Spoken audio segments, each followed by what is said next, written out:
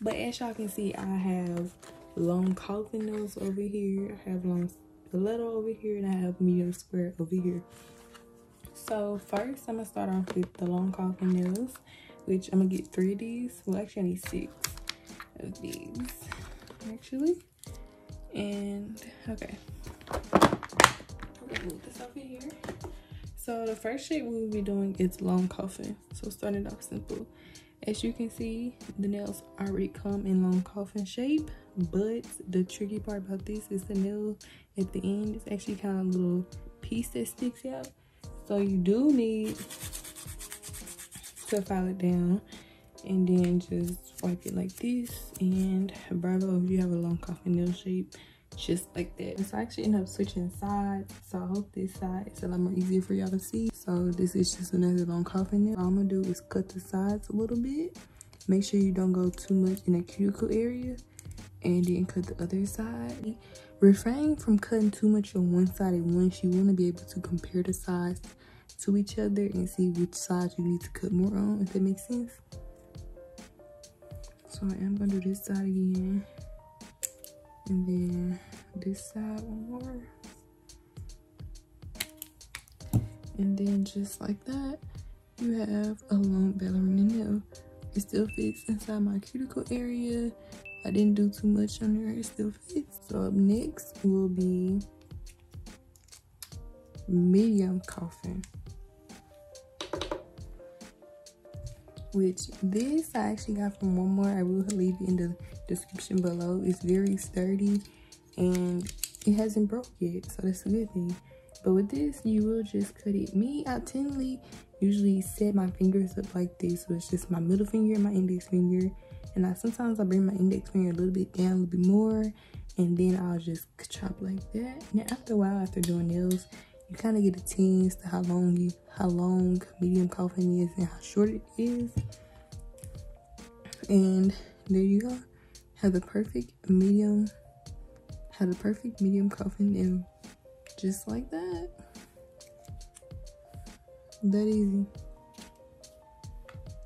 and next i'll be doing medium ballerina so like i said just before i put my middle finger and my index finger not my index finger my ring finger and I do the chop just like that. And just like before with the long coffin, I get my scissors and I go on the sides. But like I said, make sure you don't go too far in the cuticle area. But you still want to make sure it's a flawless blend in between. So you may have to cut off an extra piece, but make sure that the cuticle area is still will fit your nail.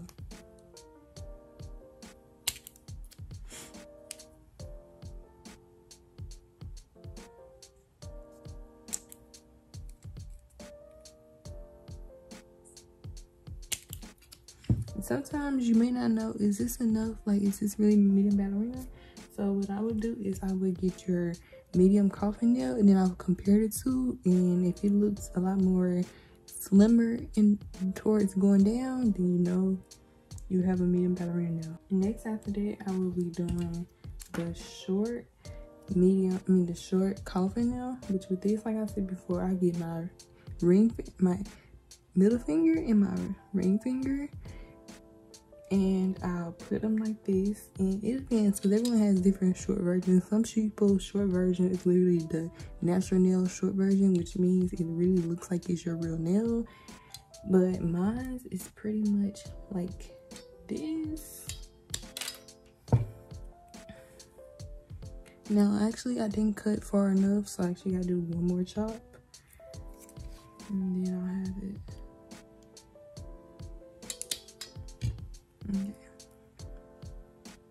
Now this is my short version of press on nails.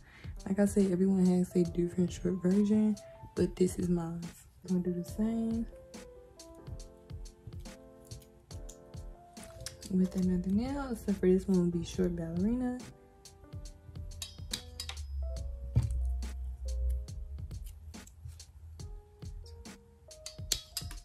And like I said before, you know, with short ballerina, you have to be a lot more careful because the cuticle area, you're automatically a lot more closer to it since it's shorter nails, since it's a shorter nail, but it's the same method. You just have to make sure you do not disturb the cuticle area.